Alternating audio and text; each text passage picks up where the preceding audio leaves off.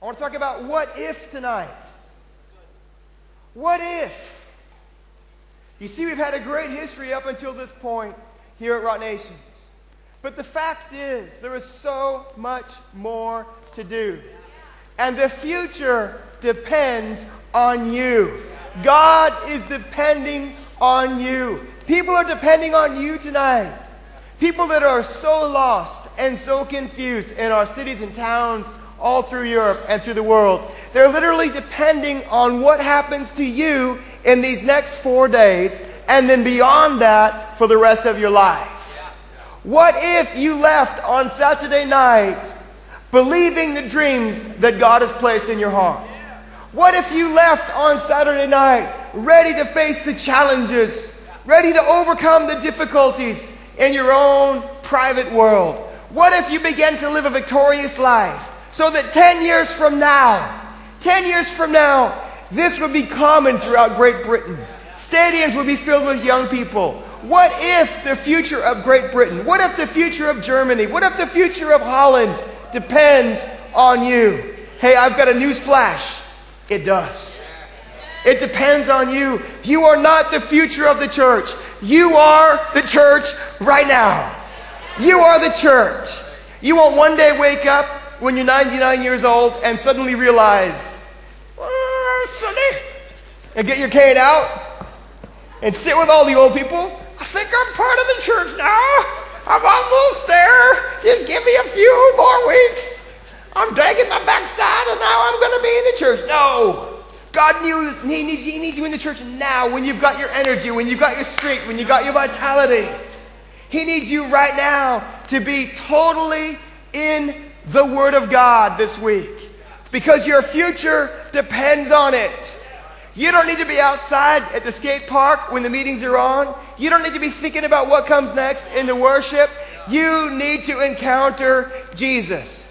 Why? Because young people are relying on you. They're relying on us. And I wanted to take you to Ephesians chapter 3 verse 20 as I kick this off.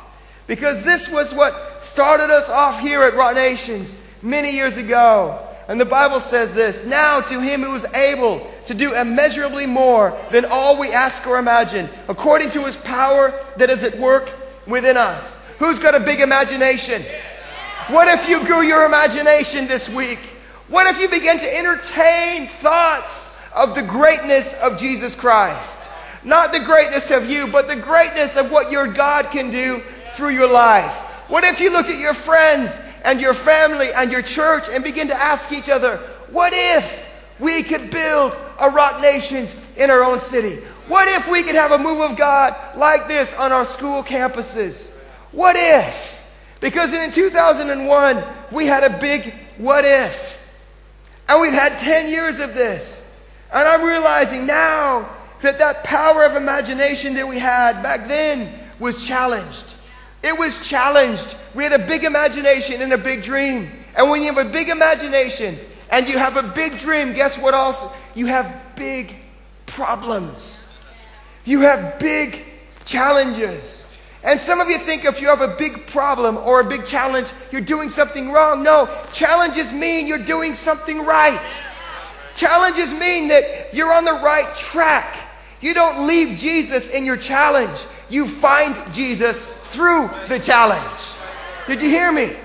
You don't lose Jesus. You don't lose sight of Jesus. Where are you, Jesus? Don't you know how hard it is? No, in the hard times, that's when you go to God.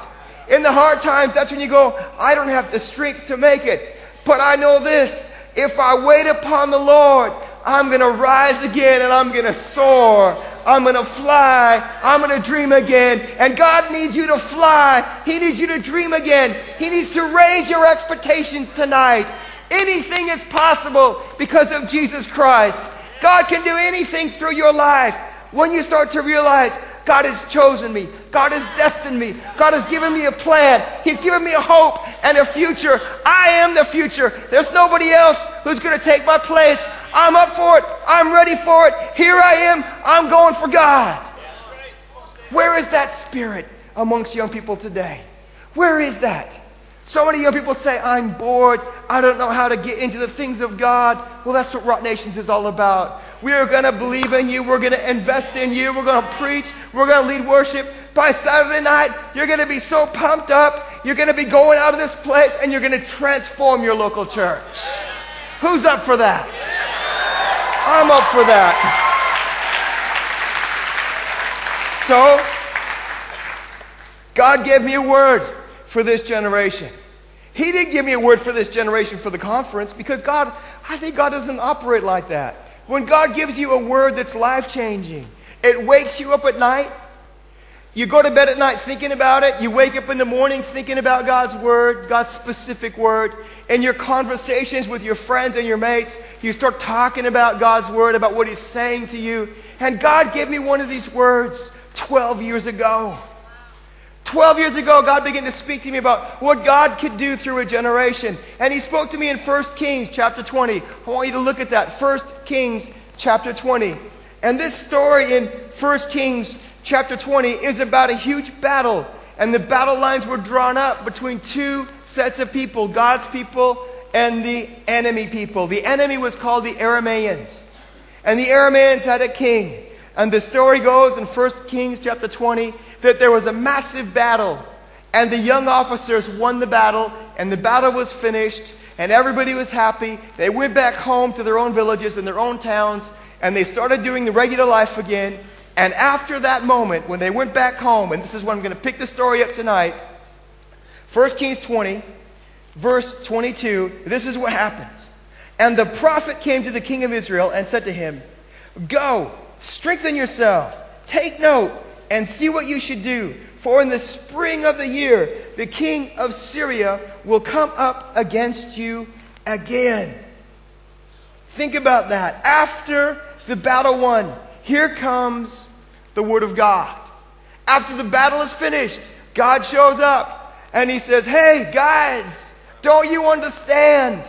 On Saturday, on Saturday night, when you go home, yeah, I'm talking to you already about what happens when you go home. On Saturday, when you go home, after the conference is finished, when the stage is quiet and the band's gone, and you get back home tired, and you get off your buses and your coaches, and you go back to your own bedrooms, that's when the battle starts. That's when the real work starts. On the Sunday morning and on the Monday morning, I'm going to speak about what's going to happen to you next week, next month, next year. You see, the truth is, you don't know what the future is going to bring. You don't know what's going to happen next month. You might have an idea, you might have a plan, but you don't know the challenges that are going to come. So, because you don't know what the future is going to bring, the best thing you can do this week is to know the God of the future. The best thing you can do is to encounter who Jesus is, and He will prepare you for the future. He will be with you in the future. He'll be ready to walk with you. And that's what this prophet was trying to get over to these young people. He was trying to say to them, Look, get ready, strengthen yourself. My first point tonight is this the future depends on you going. It doesn't depend on you staying here at Rock Nations. We love you. We love all of you. We wish you could be with us more. But you're going to have to go home. The future depends on you going. If you lived all your life in the Abundant Life Center, main hall, auditorium, you would not be very happy.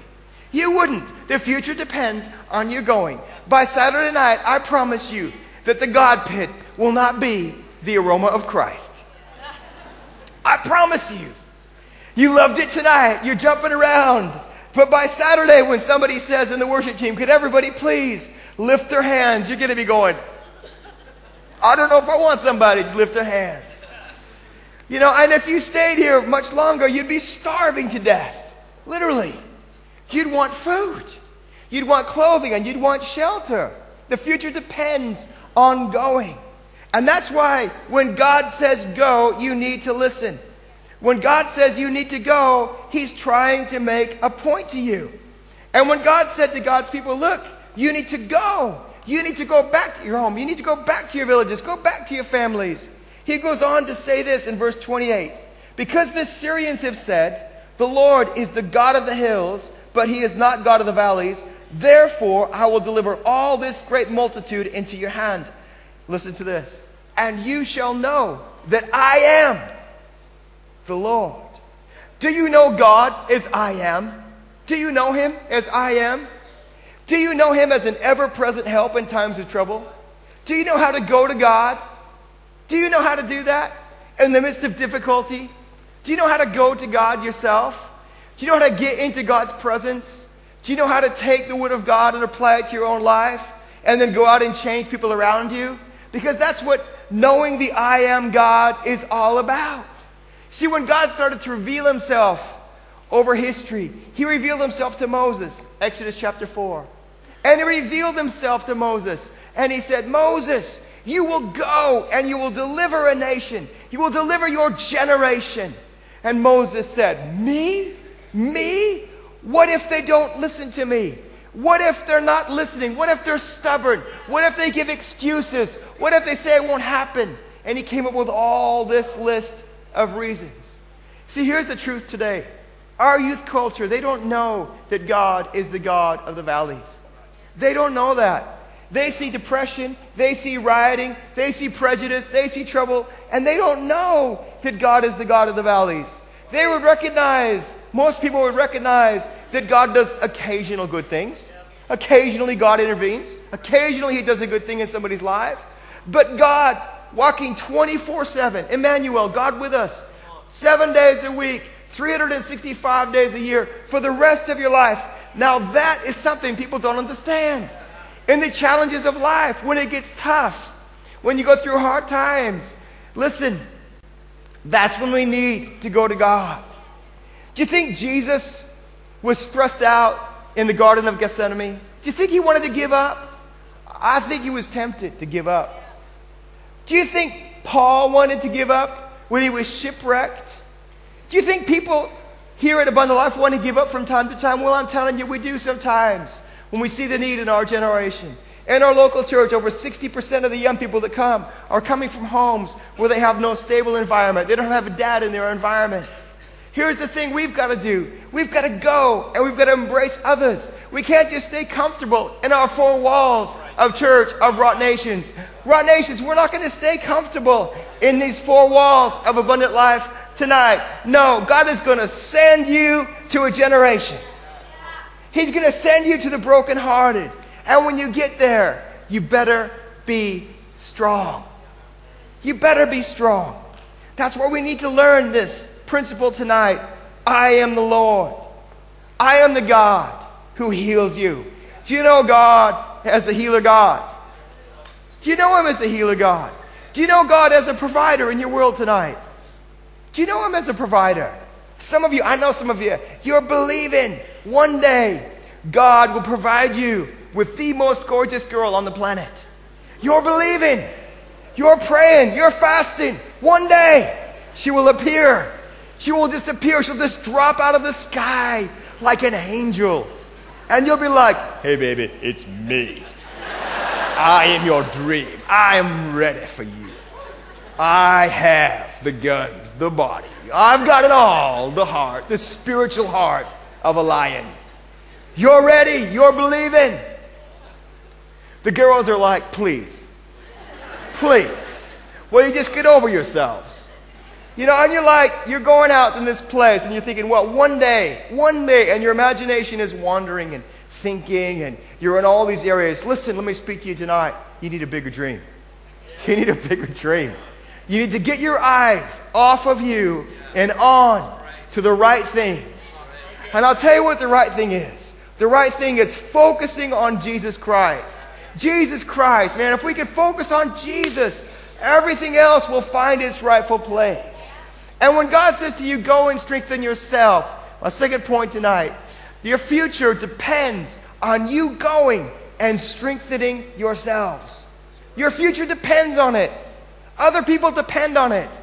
When you go, you're going to encounter challenges. So you better learn how to strengthen yourself.